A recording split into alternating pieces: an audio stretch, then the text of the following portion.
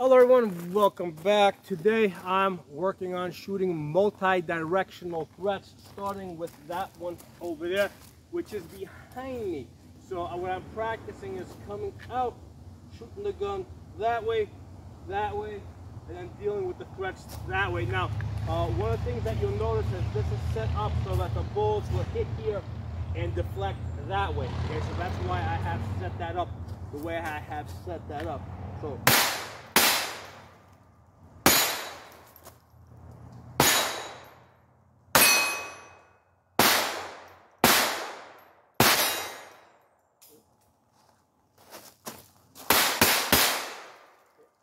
So, uh, good exercise. Uh, let's try this again.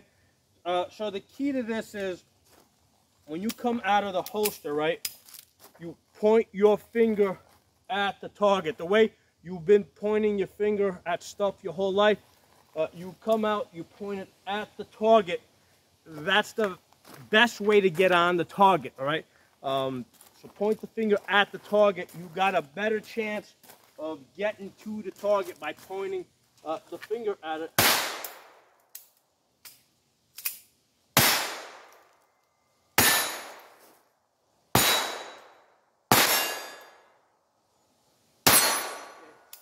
Excellent. So, uh, this is a Ruger SR22.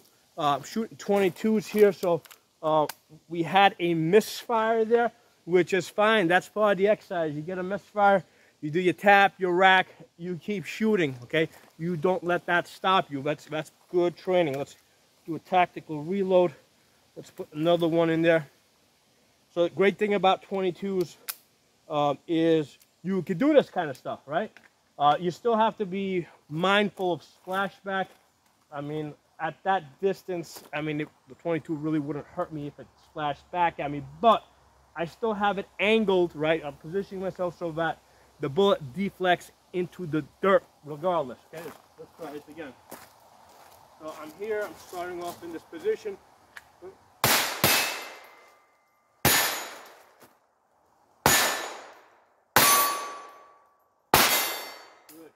All right, so uh, one of the things that I'm doing there is I'm obviously point shooting that, but then I have to go to my iron sights. That, that's a big part of this exercise right? Uh, because you know it's very easy to go, let's say, from um, uh, from your from iron sights to point shooting. But what happens a lot of times when you start off point shooting, it's easy to forget that you got to get back to your iron sights, especially as the target gets further. So that's something that I drill into this exercise where I point shoot the first target and then go to iron sights because I need to because that's a bigger target. That's, I don't know, something like uh, uh, 12 inches tall over there. Well, the other target I'm shooting over there is only six inches and it's a little bit further. So I have to get to my iron sights in order to hit that target. Otherwise, there's no way I can hit it. I can point shoot that one. I cannot point shoot that one. All right, let's do this again.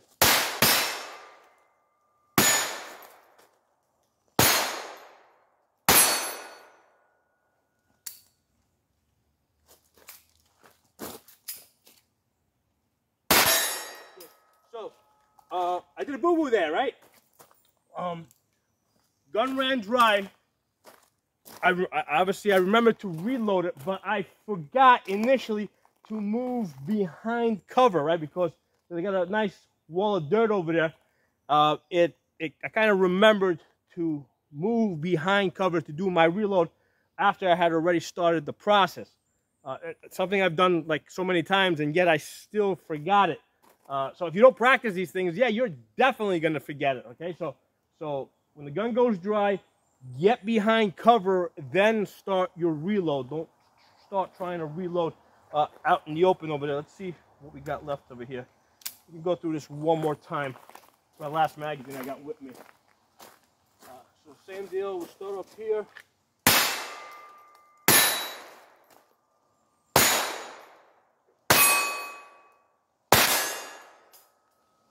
Tactical reload. So fun exercise. Um, you know, 22s are great because it can uh, you can do a lot of shooting. You know, you buy these you know 300 round or 500 round bricks, and you know you can you can do lots of shooting. You can shoot the targets fairly close.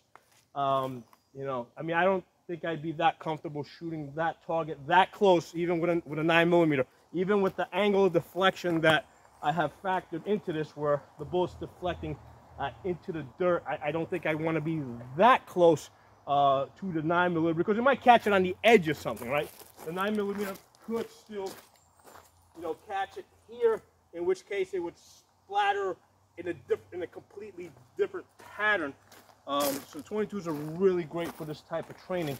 Um, and you know, and I mean, shooting is shooting. You know, doesn't matter. You know, the idea is get the bullets on the target, uh, especially with the point shooting. If, if you miss, just take another shot. You know. Um, so it's really great because you got the whole situational awareness going on where um, I'm trying to figure out where the targets are. And the nice thing is like, like some of the targets, like that guy right there, he can move. You know, I can move these targets around. Like I can take this guy over here.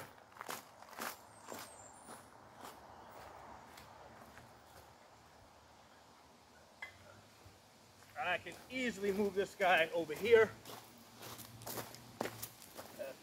Over. Okay. So now all of a sudden, this is this is something different, right? Come out here. Gun's empty. I'm dead. uh, do I have another mag? Nope, I'm out. All right. So anyway, the point is that you can I can move the targets around like that, and uh, and practice lots of different configurations. Especially, you know, I mean, you don't need to move all targets. You just need one target that you're moving around, that you gotta be hunting for. But I do have I do have another stand like that that I can also uh, move around. So great exercise, lots of fun. I'll talk to you all soon. Hope you guys enjoyed the video.